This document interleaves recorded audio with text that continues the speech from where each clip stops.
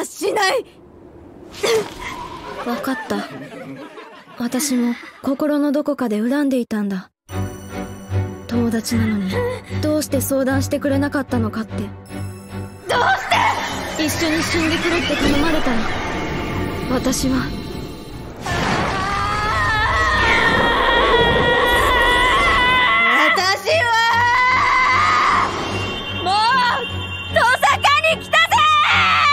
あ？ミッションクリアの条件はエッグの子たちの確執や執念トラウマの象徴。